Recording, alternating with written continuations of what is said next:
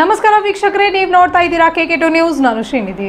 ರಾಯಚೂರು ಜಿಲ್ಲೆಯ ದೇವದುರ್ಗ ತಾಲೂಕು ಕಸಾಯಿ ಖಾನೆಗೆ ಒಯ್ತಾರಿರುವ ಜಾನುವಾರುಗಳ ಲಕ್ಷಣೆಯನ್ನ ಮಾಡಲಾಯಿತು. ದೇವದುರ್ಗ ಸಮೀಪದ ಕೊಪ್ಪೂರು ಕ್ರಾಸ್ ಹತ್ತಿರ ಪೊಲೀಸರು ತಮಗೆ ಬಂದ ಮಾಹಿತಿಯ ಪ್ರಕಾರ ಕಸಾಯಿ ಖಾನೆಗೆ ಜಾನುವಾರುಗಳನ್ನ ಒಯ್ತಾ ಖಚಿತ ಮಾಹಿತಿಯ ಹಿನ್ನೆಲೆಯಲ್ಲಿ ಮಧ್ಯರಾತ್ರಿ ಹನ್ನೊಂದು ಗಂಟೆಗೆ ಪೊಲೀಸರು ಘಟನಾ ಸ್ಥಳದಲ್ಲಿ ತಡರಾತ್ರಿ ಬಂದು ನಾಲ್ಕು ಟ್ರ್ಯಾಕ್ ಹಾಗೂ ಏಳು ಜನರನ್ನ ಬಂಧಿಸಿ ನ್ಯಾಯಾಂಗ ಬಂಧನಕ್ಕೆ ಕಳಿಸಿದ್ದಾರೆ ಎನ್ನುವ ಮಾಹಿತಿ ಲಭ್ಯವಾಗಿದೆ ಕಲಬುರಗಿ ಮೂಲದ ಶೇಖ್ ಕಾಯಂ ನಿಸಾರ್ ಅಹಮದ್ ಮೊಹಮ್ಮದ್ ಗೌಸ್ ಮೊಹಮ್ಮದ್ ಫಯಾಜ್ ಆಸಿಫ್ ದಾವೂದ್ ಸಾಬ್ ಆಸಿಫ್ ಖಜಾಮಿಯಾ ಮೊಹಮ್ಮದ್ ಅಮೀರ್ ಬಂಧಿತ ಆರೋಪಿಗಳಂತ ತಿಳಿದು ಬಂದಿದ್ದು, ಮೂವರು ವಾಹನನ ವಶಕ್ಕೆ ಪಡೆಯಲಾಗಿದೆ. ಟ್ರ್ಯಾಕ್ಟರ್ನಲ್ಲಿ ಕೂಡಿ ಹಾಕಿದ ಎಪ್ಪತ್ತು ಜಾನುವಾರುಗಳಿಗೆ ಉಪವಾಸದಿಂದ ನರಳುತ್ತಾ ಇದ್ದ ಜಾನುವಾರುಗಳಿಗೆ ತಕ್ಷಣವೇ ಹೊಟ್ಟೆಗೆ ಮೇವನ್ನು ಹಾಕಿ, ನಂತರ ಪಶು ವೈದ್ಯರಿಂದ ಜಾನುವಾರುಗಳಿಗೆ ಆರೋಗ್ಯ ತಪಾಸಣೆ ಮಾಡಿ ಶಿಕ್ಷೆಯನ್ನ ಕೊಡಿಸಲಾಯಿತು. ನಂತರ ಗೋಶಾಲೆಗೆ ಒಪ್ಪಿಸಲಾಗಿದೆ. ಸಂದರ್ಭದಲ್ಲಿ ಪೊಲೀಸ್ ಸಿಬ್ಬಂದಿಯವರು ಉಪಸ್ಥಿತರಿದ್ದರು.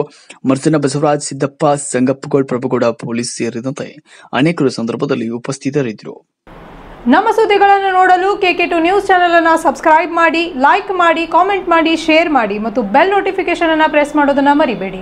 ಧನ್ಯವಾದ. ಅಮೃತೇಶ್ವರಿ ಕೊಳ್ಳೇಗಾಲದ ಜ್ಯೋತಿಷ್ಯರು ಕೊಳ್ಳೇಗಾಲದಿಂದ ನೇರ ಪರಿಹಾರ ತಿಳಿಸುತ್ತಾರೆ. ಕೊಳ್ಳೇಗಾಲದ ತಾಳಿಗರಿ ವಿದ್ಯೆಯಿಂದ ಹಾಗೂ ಅಖಂಡ ಬಲಿಷ್ಠ ಪೂಜೆಯಿಂದ, ಅಘೋರ ಕಠೋರ ಜಪಸಿದ್ಧಿಯಿಂದ, ಹೋಮ ಹವನಗಳ ಮೂಲಕ ನಿಮ್ಮ ಸಮಸ್ಯೆಗಳಾದ ಕೌಟುಂಬಿಕ ಕಲಹ, ಆರೋಗ್ಯ, ಸಂತಾನ, ಕೋರ್ಟು ಕಚೇರಿ ವ್ಯಾಪಾರ, ರಾಜಕೀಯ, ವಿದೇಶ ಪ್ರಯಾಣ, ಉದ್ಯೋಗ ಇಂತಹ ಅನೇಕ ಗುಪ್ತ ಸಮಸ್ಯೆಗಳಿಗೆ ಕೇವಲ ಒಂದೇ ದಿನದಲ್ಲಿ ಫೋನಿನ ಮೂಲಕವೇ ಶಾಶ್ವತ ಪರಿಹಾರ ತಿಳಿಸುತ್ತಾರೆ.